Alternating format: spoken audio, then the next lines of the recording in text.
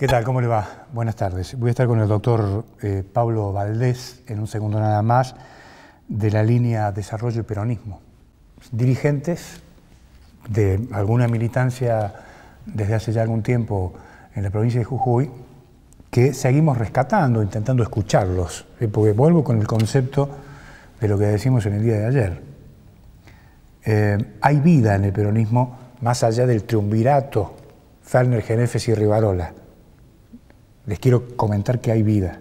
Hay dirigentes que tienen ganas de trabajar, que tienen ganas de este, eh, ponerse al servicio, si usted quiere, primero del partido y después de la provincia.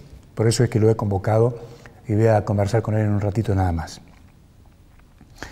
Pero comienzo este comentario con una anécdota que tiene como protagonista a Albert Einstein, que cuando en 1925 visitó la Argentina, dijo, ¿cómo puede progresar un país tan desorganizado? Esto pasó hace 93 años. Y esto, paradójicamente, lo vemos hoy en Jujuy en pleno siglo XXI. Una provincia con una supuesta riqueza fenomenal. He escuchado decir a muchos dirigentes jujeños, tenemos todo en esta provincia. Ahora, simultáneamente a eso, convivimos con el crónico caos administrativo y fiscal desde hace décadas. Es decir, las dos cosas pasan simultáneamente. Es una provincia que supuestamente lo tiene todo y una situación de desorden administrativo crónico, fenomenal y un déficit, ¿para qué le voy a contar? Eh, pregunto, ¿esto tiene alguna explicación? Sí. Esto se debe a la inconducta generacional y a la indolencia de la dirigencia que gobernó esta provincia desde hace décadas. Hasta el día de hoy podemos decir que está ausente el aprendizaje masivo en la provincia de Jujuy que en otras sociedades se ha dado frente a los avatares de su propia historia. Seguimos poseídos por el síndrome del autoexterminio. Nos metieron en la cabeza de que no es posible vivir sin la creación permanente de un enemigo. La culpa la tiene la oligarquía, el imperialismo, los grandes grupos económicos, ahora el Fondo Monetario Internacional. Y yo creo humildemente que así no podemos seguir. El presidente de la República ayer convocó a un gran acuerdo nacional.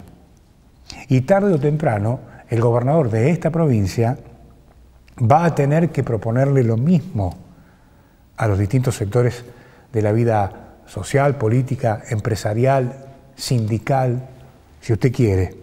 Porque, como le digo, aquí el déficit es fenomenal, es inmanejable. Y el gobierno no sé hasta cuándo lo va a poder disimular. Creo que hay que superar la grieta porque si no estamos en las puertas, me parece a mí, de un suicidio masivo como sociedad. Tenemos que dejar atrás esta lógica perversa de que para un jujeño no hay peor cosa que otro jujeño que piense diferente.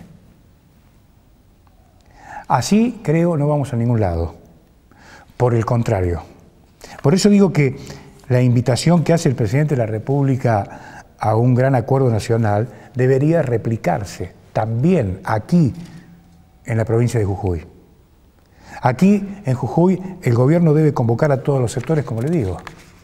Tiene que tener una actitud abierta, me parece a mí, para ver qué se hace con el déficit. Sin subestimar la tarea del contador Sadir, me parece a mí que la envergadura del problema que tenemos en la provincia escapa a la responsabilidad de un ministro. Aquí hay una responsabilidad, si usted quiere, colectiva, y esto es lo que el gobierno de Jujuy debe hacer comprender, como le digo, a todos los actores. ¿Hasta cuándo van a seguir pateando el tema? Y la verdad que no sé. Si este tema no se resuelve, no hay posibilidades de crecer. Usted me puede traer la mejor idea, pero si el déficit no se lo controla, no se lo achica como corresponde, no hay posibilidad de crecer, de ninguna manera. Jujuy no puede seguir conviviendo con estos niveles de déficit. Sin embargo, por lo que veo, por lo que veo, la dirigencia en Jujuy, sin tomar conciencia, está yendo en otra dirección. ¿Cómo? Sí, claro, está yendo en otra dirección. Se esmeran en ver cómo seguir gastando, cuando en realidad de lo que se trata es ver cómo se achica el gasto, es al revés. ¿Y sabe cuál es la conclusión en la calle? Que la política cree que gestionar algo es gastar. Esto es lo que piensa la gente. Señores, no se puede gastar más de lo que tenemos. Y esto no es porque lo haya dicho el presidente de la República ayer. Esto es una cuestión de sentido común. Le pasa a usted en su casa. Le pasa en la casa de nuestros camarógrafos, de nuestros compañeros periodistas. Así es la vida. Lo mismo pasa con el Estado. Además, creo yo que con plata cualquiera administra. Ahora la plata se acabó. ¿Y ahora qué hacemos? Esta es la pregunta. ¿Cerramos la provincia y nos vamos a la casa? ¿O nos ocupamos seriamente del tema? Le dejo esta pregunta. Y en un minuto, como es habitual, vuelvo y hablo con el doctor Pablo Vélez. En un minuto.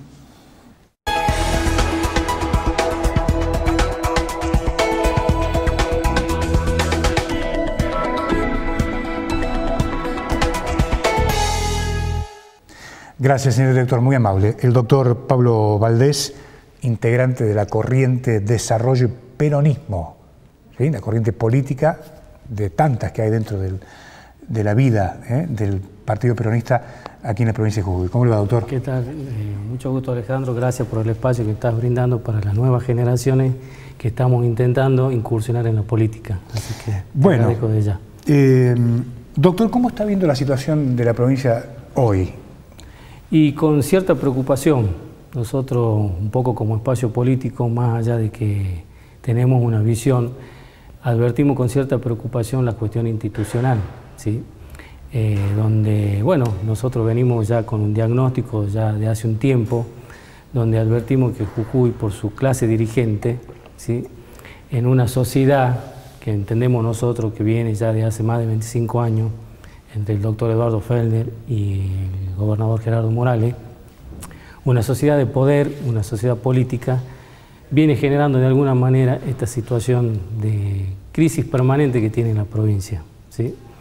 Nosotros como espacio político entendíamos y tenemos bien en claro que esta sociedad, este, de alguna manera, por falta de políticas donde se han alejado de la gente, se transformaron en dirigentes para unos pocos, donde esta clase política piensa únicamente en función de los intereses y aquí es donde llegamos a la situación donde estamos en un plano de corrupción, lo vemos a diario, donde eh, las instituciones, el otro día lo escuchaba por ejemplo al doctor Alberto Nayar, haciendo una denuncia muy seria, donde la justicia hoy está siendo sometida, donde vemos por ejemplo que la educación no funciona, la salud tampoco funciona, yo como profesional de la salud entiendo lo que está pasando con el sistema público.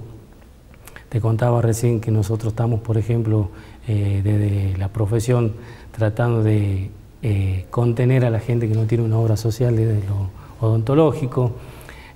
y bueno, esto es un poco la preocupación que tenemos nosotros como, primero como ciudadanos, ¿sí? Y aquí me das pie a decir que hay que salvar algo que es muy importante, la política. Muchas veces yo te escucho hablar del político, ¿verdad? Y entiendo yo que es un problema nuestro de la clase dirigente que está muy alejada de la sociedad, de los problemas reales de la gente. Y en función de eso, bueno, eh, entender que la política es la herramienta transformadora para todo esto. Mm. ¿Ustedes creen que en este momento están dadas las condiciones en el Partido Justicialista de poder hacer estas cosas que, usted, con que eh, ustedes están... Yo creo que no. Advierto que viene un proceso que yo lo definí como globos amarillos para todos y todas, donde a nivel nacional vos sabés que está intervenido en este momento el justicialismo, y hay una línea muy difusa dentro de lo que es el justicialismo.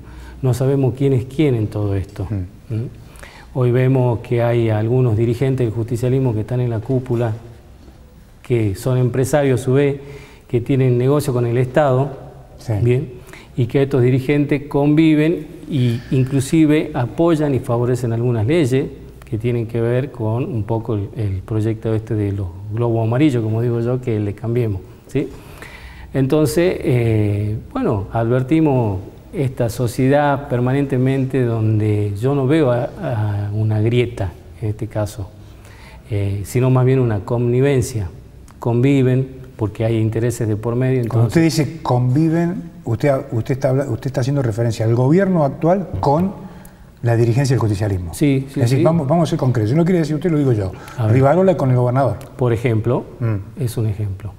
Eh, si vos mirás y analizás un poquito la cuestión de, como te decía recién, de la intervención del justicialismo a nivel nacional, hoy cualquier sector disidente que quiera oponerse a la cúpula del peronismo, seguramente va a tener una, intervención del justicialismo a nivel nacional y se daría una intervención también acá en Jujuy.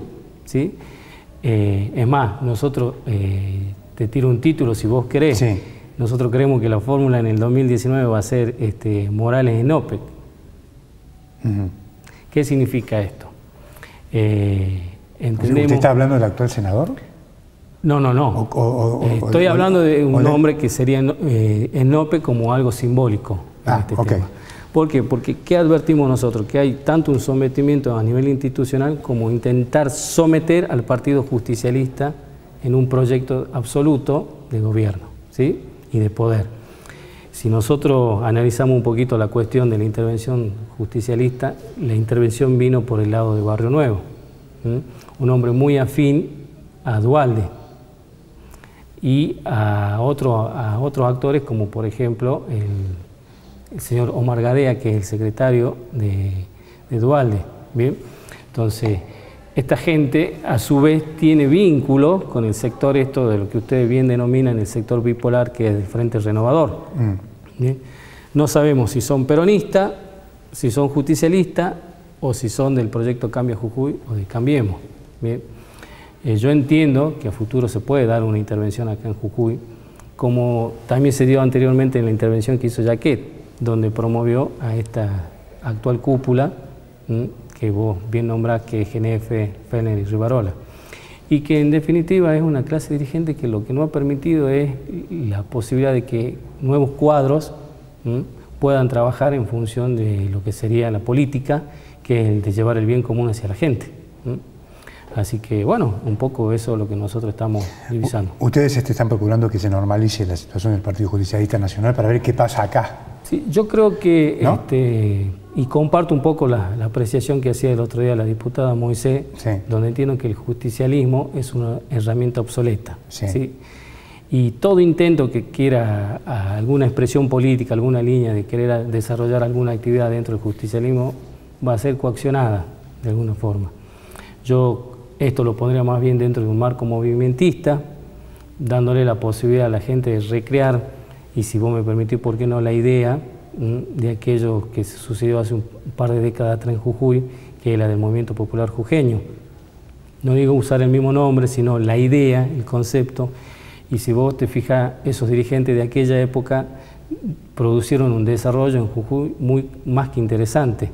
Se eh, puso en marcha el hospital, el aeropuerto, se eh, eh, fundó la legislatura, entonces era una gente que estaba un poco más cercana a la sociedad y a las necesidades de, aquello entonces, ¿no es cierto?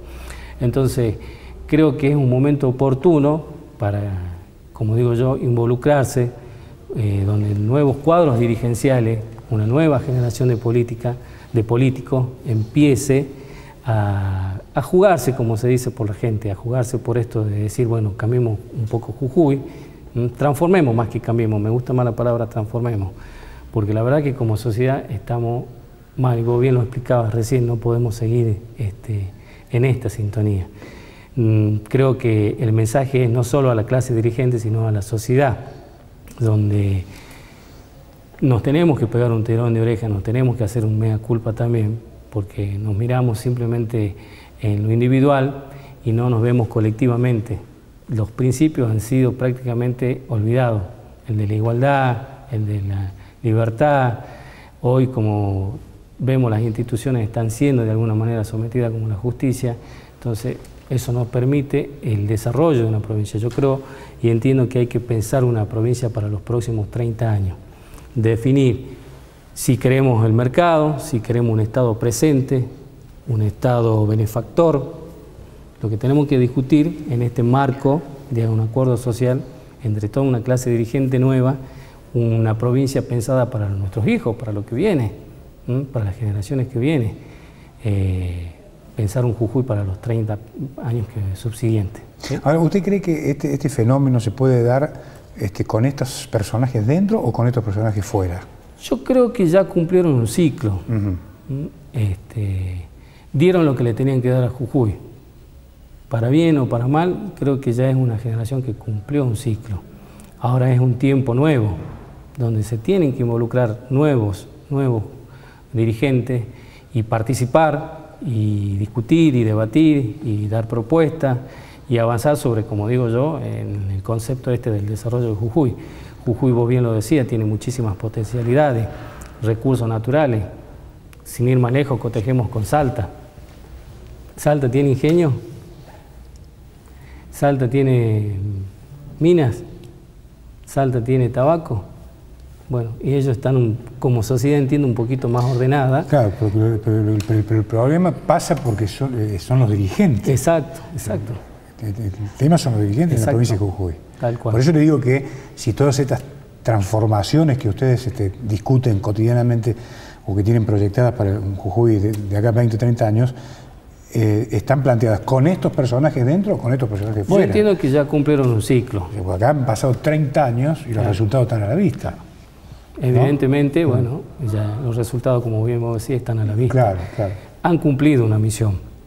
Equivocadamente o no, han cumplido una misión. Yo creo que hay que darle lugar y espacio a una nueva clase dirigente. ¿Usted cree que es viable eh, la posibilidad de que el gobierno convoque a todos los sectores en esta coyuntura tan compleja que también tiene la provincia de Jujuy, como lo mencionaba yo hace un ratito, el tema del déficit y demás. ¿Está la clase dirigente a la altura de las circunstancias de discutir estas cosas, dejando de lado los intereses políticos, las mezquindades, los rencores y demás o no? Yo creo que la sociedad demanda un acuerdo social y político y económico inclusive. Mm. Pero cuando hablamos de clase dirigente, permíteme hacer la salvedad, que esto también involucra a los empresarios, a los sindicalistas. Sí, claro, claro, claro, No, solo no solo al político. pero están en condición. ¿Usted cree que.? Yo creo que en este momento no. No. No, no, no. ¿Cuál sería la razón, por ejemplo? Y porque la discusión pasa por intereses personales muchas veces mm. y por sectores partidarios. ¿sí?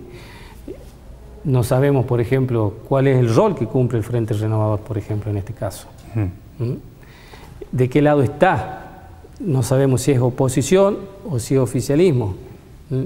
Entonces es muy difícil que puedan, pues el otro día eh, te escuchaba en una editorial que decías que la oposición no tiene la moral para poder decir cosas que hay que marcarle a este gobernador. ¿sí? Y bueno, y eso tiene que ver, por ejemplo, en la posición del Frente Renovador.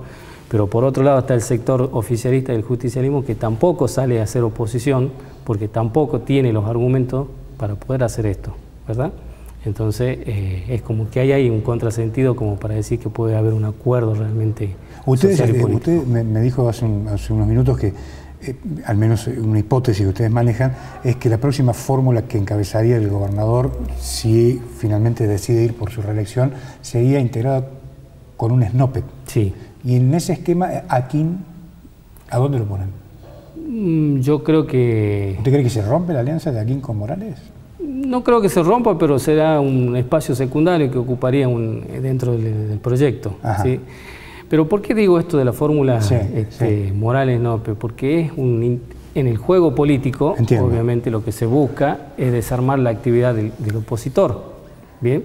Para poder seguir permaneciendo en, en el gobierno y en el poder. Y está bien, porque estas son un poco las reglas del juego de la política. Y yo entiendo que lo que se busca es, la, eh, digamos, bloquear toda iniciativa de que pueda prosperar un proyecto justicialista, ¿verdad? Entonces, ahí es donde yo advierto que pueden llegar eh, estas cuestiones de la intervención, esta cuestión de, decir simbólicamente Morales en OPE a los fines de que generar más confusión en el electorado fundamentalmente peronista, ¿verdad? Así que... Ahí un poco estaría el argumento mío. Está muy bien. Bueno, este, yendo, ustedes este, en algún momento defendieron el, sistema de las pasos. Sí. Eh, ¿Cree que usted cree que este debate todavía este, no ha madurado lo suficiente para que realmente se discutan estas, cosas? Nosotros en su momento, ya, ya por el año 2014, tomamos una iniciativa de hacer un proyecto de iniciativa popular, donde le hicimos firmar a los diputados de, en aquel entonces de, todos los, espacios políticos, a los fines, porque, a ver, pongámoslo esto en un contexto. en ese momento el doctor Fellner, que era gobernador, lo que buscaba era eh, prosperar con la ley de lemas. Y lo que nosotros planteábamos era las pasos provinciales, no las pasos nacionales. ¿Bien?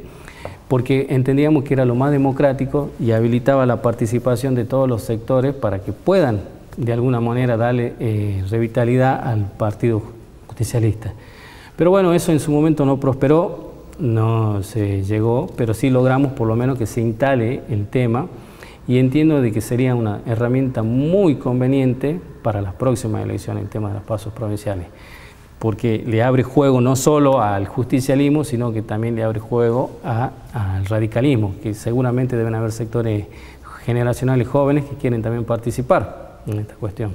¿Sí? como tantos otros partidos también que están vigentes. Estamos bien. Doctor, se me acabó el tiempo. Bien. Ha sido muy atento. ¿eh? Agradecerte por el espacio brindado. No, al contrario. Gracias por venir. ¿eh? muy amable. Bien, los dirigentes que se van mostrando ¿eh? Eh, dentro del Partido Justicialista. El doctor Valdés con nosotros. Chao.